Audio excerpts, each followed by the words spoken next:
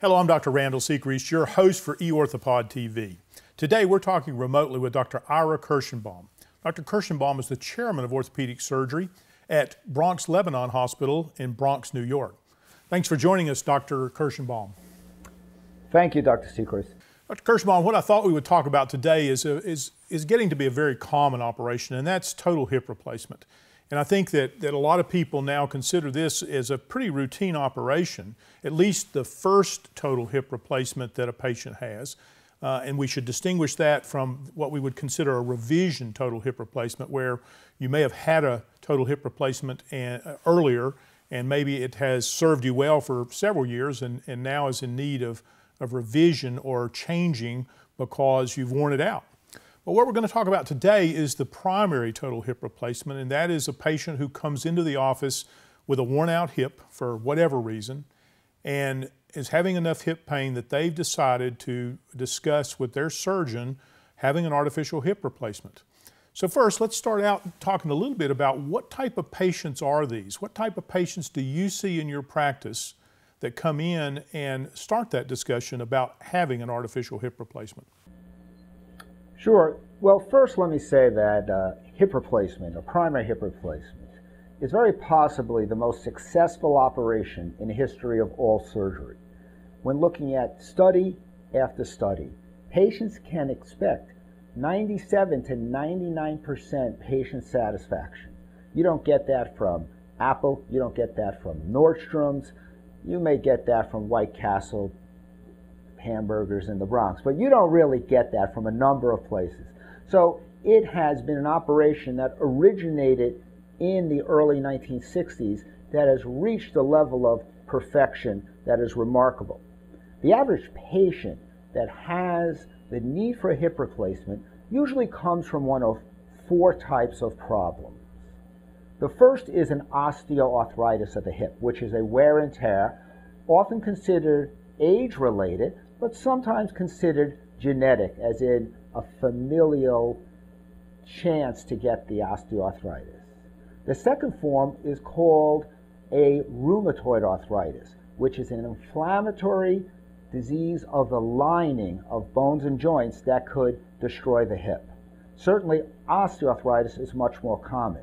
Two other very common forms of arthritis that I see in the hip in my population are avascular necrosis, which is a loss of blood supply to the hip that occurs from a variety of reasons. Sometimes people who have sickle cell trait, sometimes people have taken steroids, and I'm not talking about the athlete type steroids, I'm talking about the prednisone, prednisone type of steroids, which are very much in the line of people who have asthma or other type of inflammatory conditions.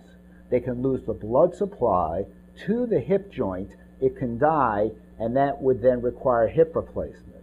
And the fourth most common form is what we would refer to as a post traumatic. Someone who's had a fracture, maybe a hip fracture or a pelvic fracture, that then goes on to require a hip replacement. These are the four most common types of patients that come not only into my office, but into most orthopedic surgeons' offices. Now, let's talk a little bit about the symptoms that might prompt a patient to come in and consider a hip replacement. What, what sort of symptoms do you feel that patients uh, have before they come and, and actually get down to the process of, of actually discussing this type of an operation? The symptoms related to hip replacement are in two categories. On one, you'd have pain, and the second category would be some type of loss of function. Let's talk about the pain for a second.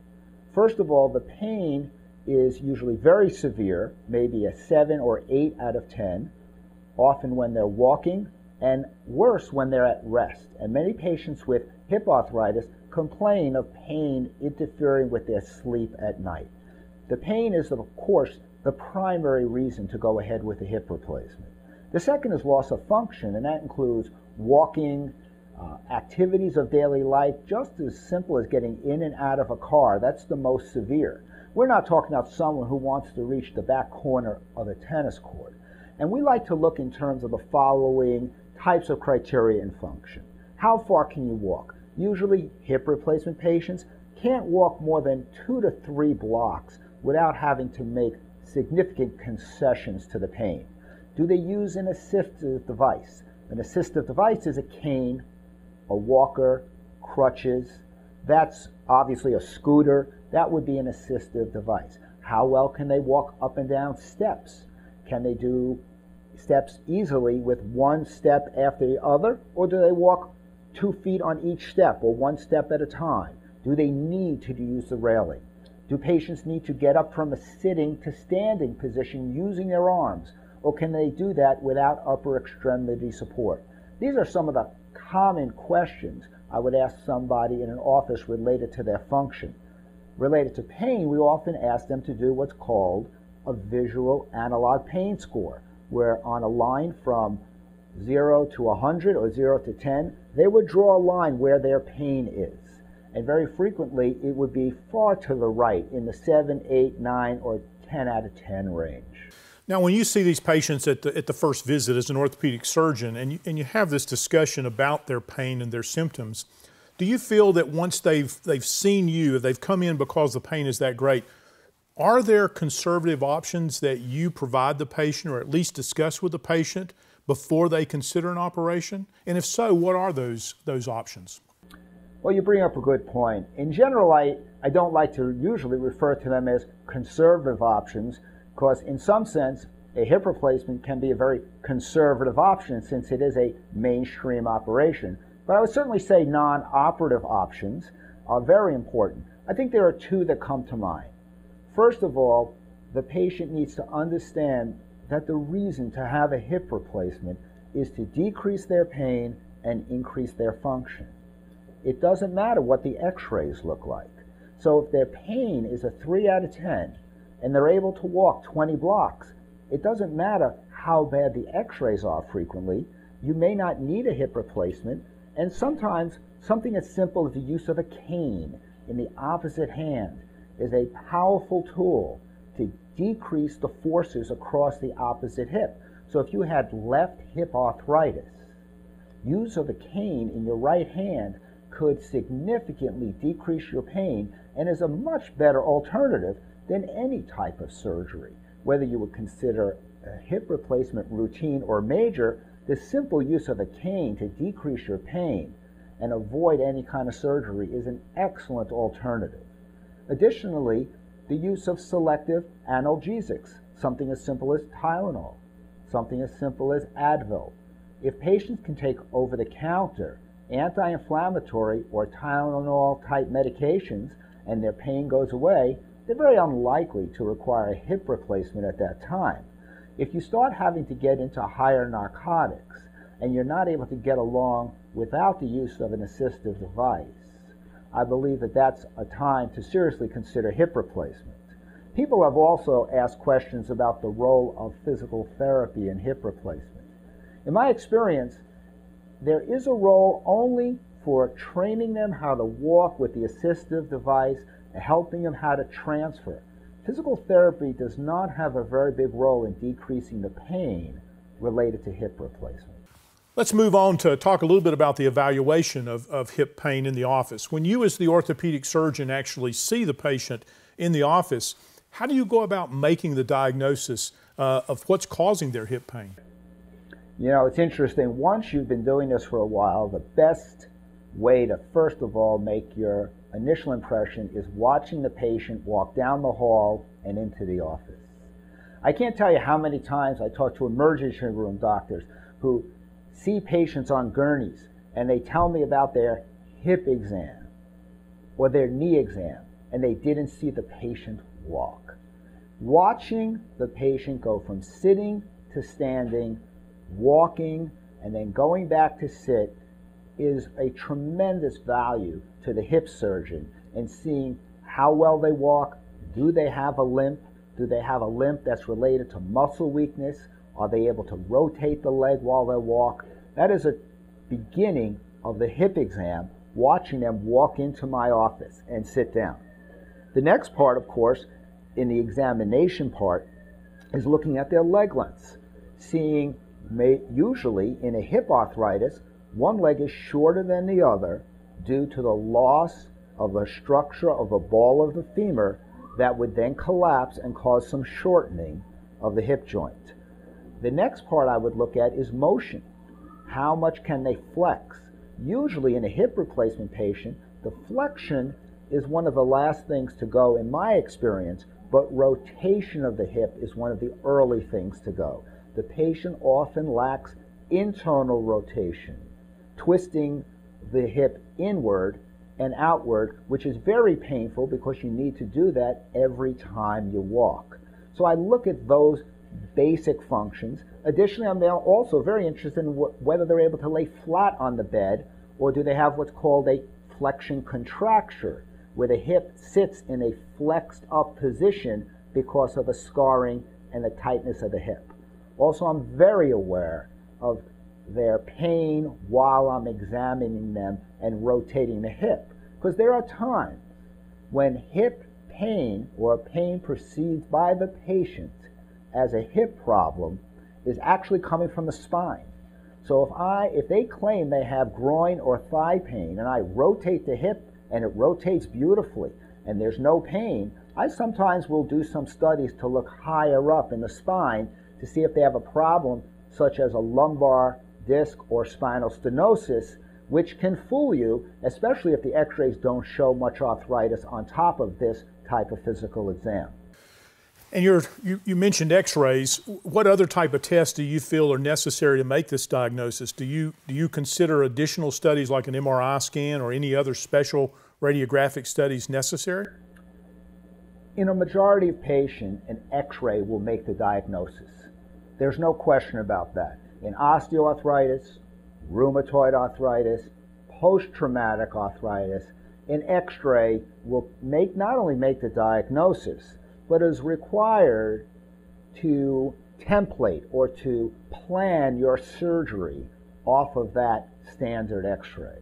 But there is an indication for an MRI, and that's in cases of avascular necrosis. As I talked about, that was loss of blood supply to the ball of the hip.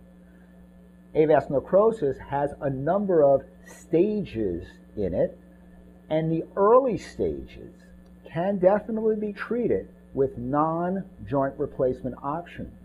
And one of the best ways to stage an avascular necrosis is to get an MRI. So if the patient has very mild arthritis on the x ray or none, but severe hip pain, I will often get an MRI, and sometimes you see very advanced avascular necrosis with the MRI.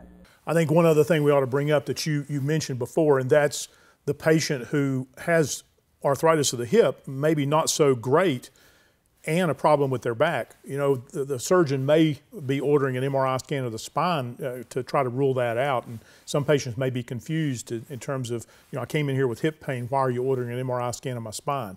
So I think I think we should, you know, point out to patients that if things like x-rays and MRI scans are ordered of the spine, it's because uh, the surgeon is trying to make sure that the problem that they're dealing with is in fact coming from the hip. I agree with that. I think that whenever there's a question in your symptoms, whenever there's a mismatch between what you see on x-ray, your symptoms, and your physical exam, you have to look above and sometimes even below. Sometimes even a knee problem may cause people to walk a certain way and perceive the pain as somewhere else. But I have seen many cases of spinal stenosis and narrowing of the spine come to me as hip arthritis. And rarely, I've, also, I've often seen another type of problem where I've seen a general surgical problem called a femoral hernia. I've seen a femoral hernia mask itself as groin pain being sent to me to evaluate for hip arthritis.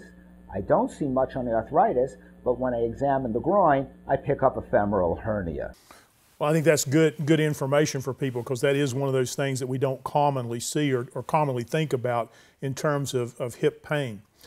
To, to complete this discussion about evaluation, do you think there's any role for any type of of laboratory evaluation or any sort of special labs that you normally get when, when you're dealing with a patient with hip pain? In a primary hip arthritis, it's very rare that I would need any kind of laboratory. If they're a rheumatoid arthritic patient or I'm concerned they're rheumatoid arthritis, I may, if they haven't been sent by a rheumatologist, I may send a rheumatoid panel, uh, such as an ANA test, latex fixation test. And the reason is the following rheumatoid arthritis pain is often very, very well treated with disease modifying drugs that the rheumatologists give. So even though they may have some destruction of the hip joint, if I suspect a rheumatoid arthritis, I will evaluate them for rheumatoid disease to see if they can be treated medically before I would treat them surgically. But except for that, in a primary hip replacement, I don't need to order my standard labs that I would to prepare them for surgery, but certainly not to diagnose the hip problem. Well, once you've made your diagnosis and you've had this discussion with, with the patient, and you and the patient have decided that, that a hip replacement is, is something that should be considered strongly, and perhaps you're ready to schedule that, how do you prepare the patient for surgery? What sort of things are required of the patient in order to get ready for that day of surgery uh, as it's scheduled? Well, I think I like to look at it as a number of people have to get ready for that patient's surgery. The patient has to get ready, the surgeon has to get ready, the anesthesiologist has to get ready, the hospital has to get ready, the family has to get ready, and if they're going to an extended care facility, they have to get ready. So, how do we start that? It first starts with education of the patient. They often see a video, they get an, a custom education packet that let them know every step of the way. And we try very hard not to change that protocol from patient to patient so they know what to expect.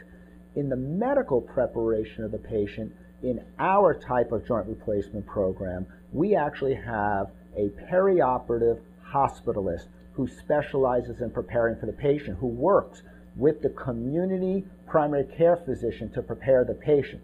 So, in a sense, we take over the immediate preoperative care in conjunction with the primary care physician, with our hospitalist, who will also see the patient postoperatively, but will be in constant contact with the primary care physician. We have found that type of level of medical preparation gives a level of consistency and decreased errors in preparing the patient for surgery. Medically, we're looking at cardiac disease, people who have diabetes will often get nuclear stress tests, so we're not looking at what are called silent myocardial infarctions. We will often get pulmonary tests on certain types of patients. Every patient also is seen in a preoperative visit with an anesthesiologist and their team to evaluate their safety to undergo anesthesia. And that's a very important part of the preparation. Additionally, we need to prepare the operating room. And that is in the surgical planning range of how to prepare for the patient. But I think you may have some other questions about that. Well, we probably should talk a little bit about um, the day of surgery and, and when the patient shows up at the hospital, what should they expect in terms of, of the day of surgery? And how long should they plan on being in the hospital? And, and maybe give us sort of an idea of, of what the patient expects while they're in the hospital before they go home most, most patients who go to the hospital for joint replacement surgery arrive on the same day they're going to have the surgery. I think when I originally trained 20 years ago, patients came in sometimes one or two days before surgery, but they don't do that now. Now they come the day of surgery. They won't eat or drink the night before. Certain medications they would take with a sip of water. Others they'll be told by the anesthesiologist not to take. So it's careful you follow your medical doctor and your anesthesiologist recommendation on which medications to take. But certainly, there's no eating or drinking after midnight. Patients who come into the hospital, and I do between six and eight joint replacements on a given day, come in at staggered times during the day, but we like to get them in early to make sure that just in case there's any other tests we need to perform. When they get to the hospital, they'll be brought to a examination area, often called the ambulatory surgery or preoperative preparation area. They'll get a full intake by the anesthesiologist and the nurse. To confirm that everything is not only the correct operation, the correct side, but confirm their medications and their medical history. Once that's done, they're brought to the holding area where they're seen again by the surgeon and the anesthesiologist, and then they're brought into the operating room itself, which has already been prepared and ready for the joint replacement. And after surgery, I'm assuming that you send the patient to the recovery room and then back to the floor.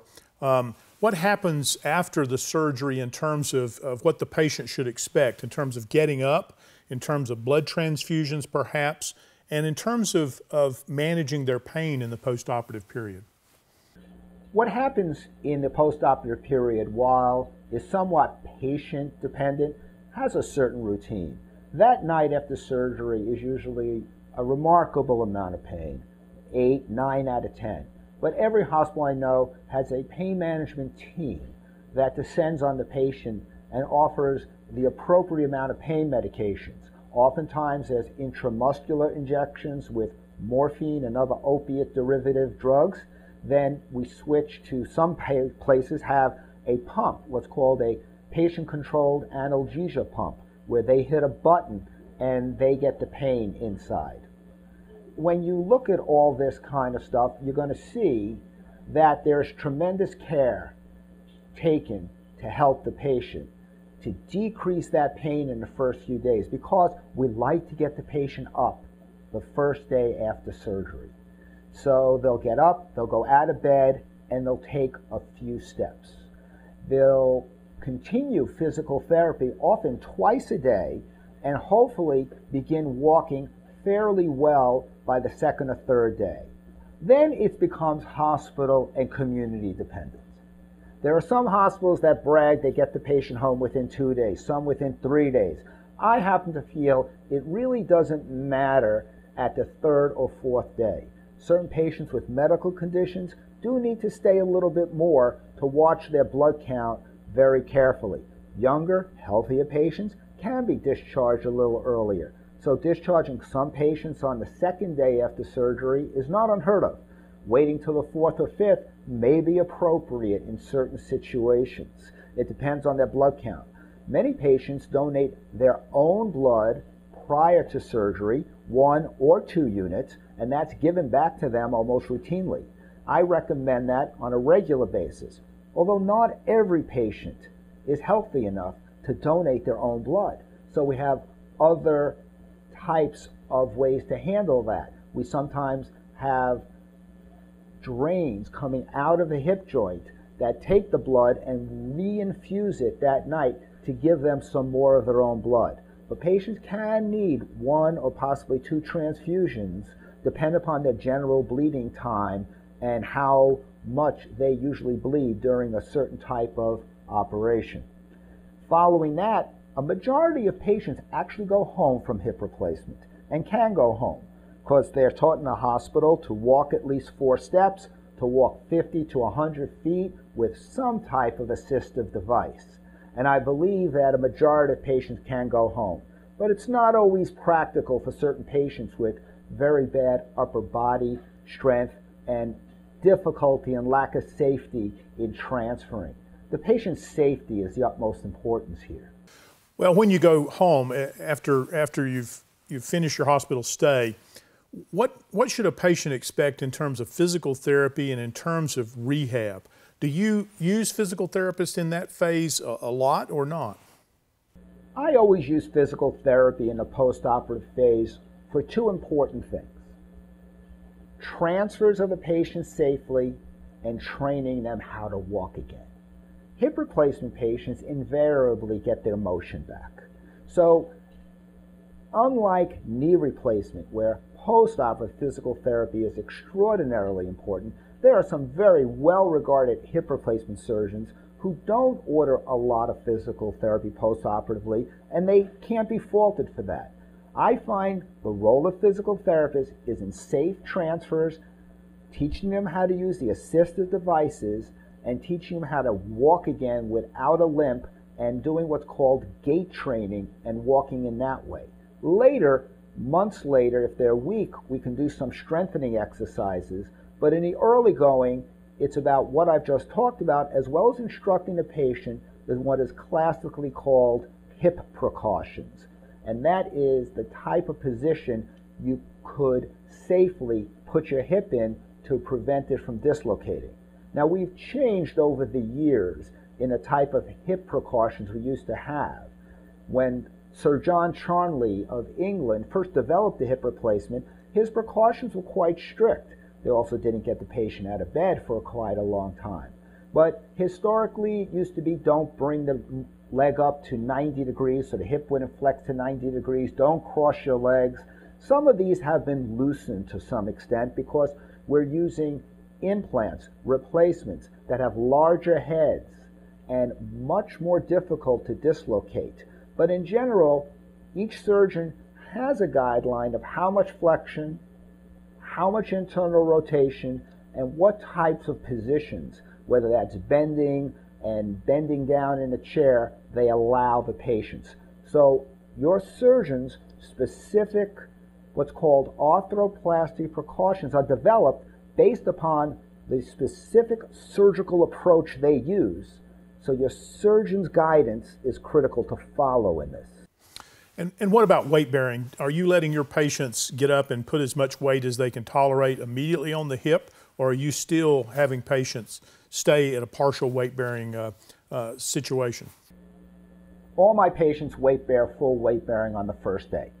I do ask them to use a cane, initially a walker, of course. I ask them to use a cane for six weeks to help them get their walking pattern better but I don't restrict any of their weight bearing. I don't keep them 50%, 75%. It's weight bearing is tolerated, and that has been a very, very good protocol for patient activity. And in terms of recovery, how long in your experience does it take a patient to get over a hip replacement to the point to where they can pretty much do whatever they want to within reason and pretty much consider this operation behind them? Well, I guess if they wanted to play poker in a grand uh, World Series of Poker in Vegas, they could probably do that in about four days. But if they want to do anything more functional, I tell my patients we have three phases of healing. The first phase are the first two weeks where you heal the wound, and while you're angry at your surgeon for giving you that pain, you're beginning to understand that your hip pain is gone. From two to six weeks is early function and motion because by the end of the sixth week, you're walking fairly well. I think you're 85% there as far as pain relief and function. And the last six weeks, I'd say three months, is where you begin to forget you had the hip replacement. So I'd say three months is the beginning of forgetting to have your hip replacements. Now, some people have remarkable results. I had one of my patients who I did both hips at the same time drive to my office at six weeks, claimed he had no pain, walked without crutches. Very rare. I never saw a patient like that again. I have others who lag a little bit behind based on how devitalized they were before surgery. So I look at it two weeks, six weeks, three months. By three months, you're 98% there.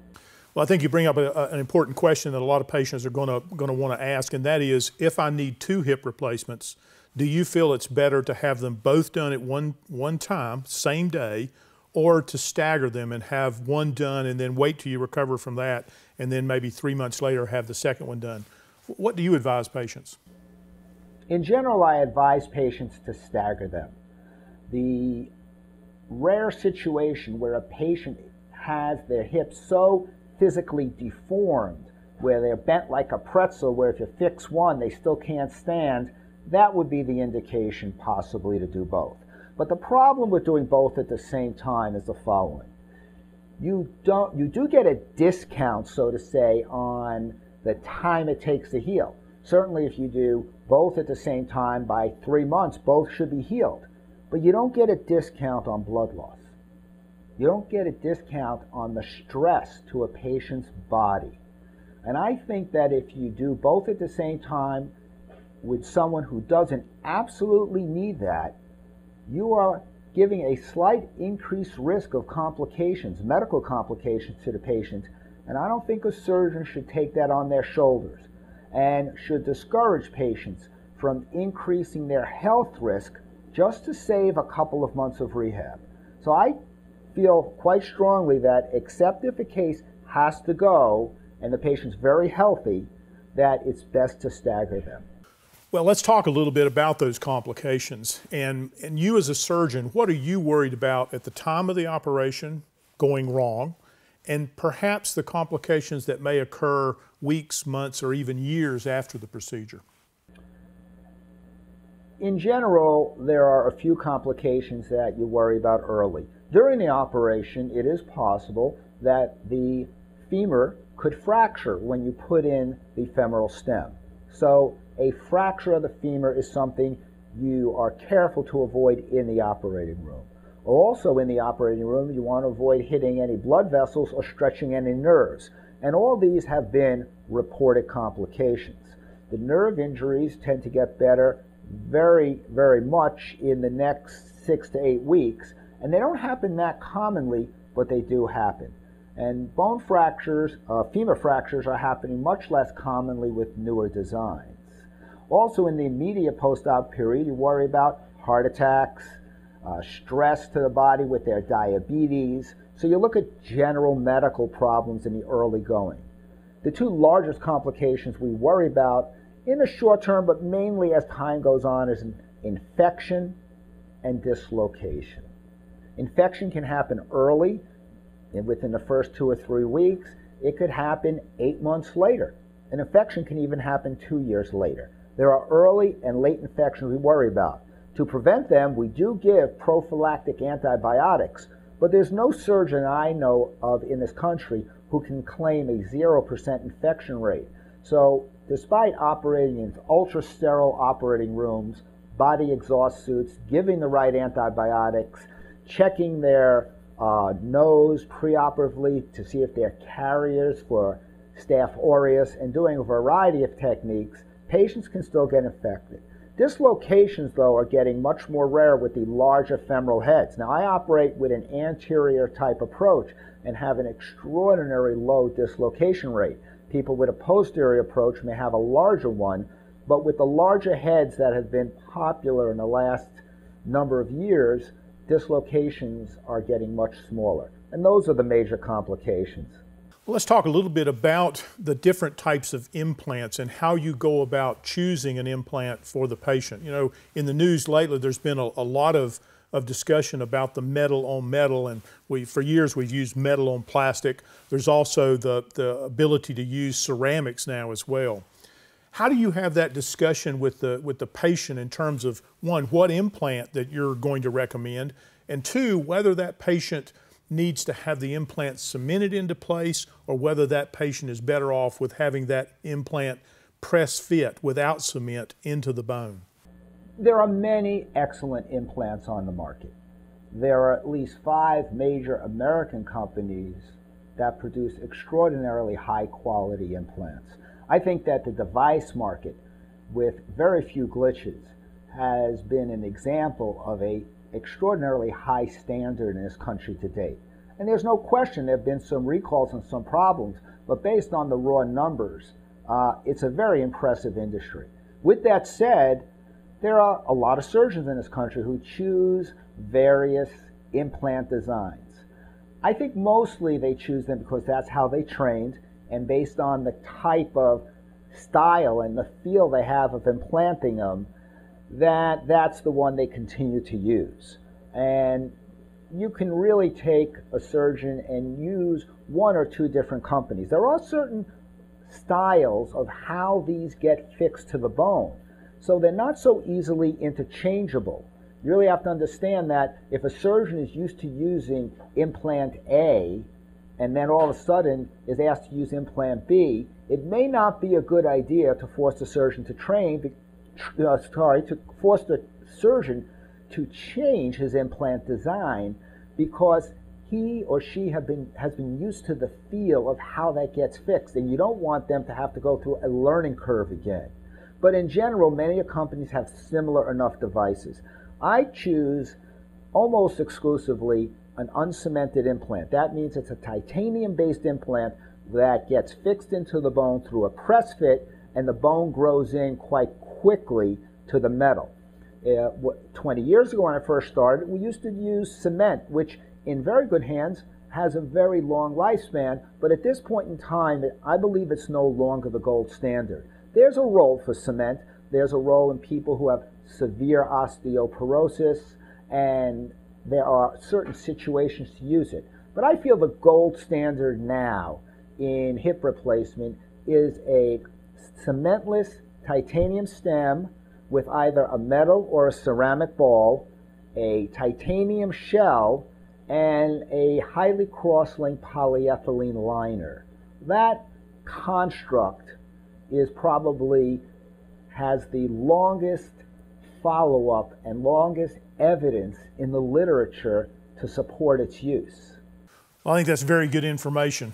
Um, as we close this discussion, is there anything that you feel that we have not covered that patients who are faced with a decision of, of whether or not to proceed on with a primary total hip replacement should know? Well, I think, first of all, they should know, despite its remarkable successes, the same care you do with anything important in your life should be taken care of in this situation. One, choose the right surgeon, choose the right hospital, understand the operation, understand what's ahead of you, make enough arrangements for support after the surgery, and be aware of the types of complications that can happen. And when you put that together, you're going to have a much greater chance of having a successful result to the 20, 25, and 35 year longevity, which some of these hip replacements can get to. Well, I think that's excellent advice, and I want to thank you for joining us today. I look forward to future discussions about other topics in, in hip replacement and hip disease in general. So, thank you very much for joining us today. Once again, thank you, Dr. Sechrest. My pleasure.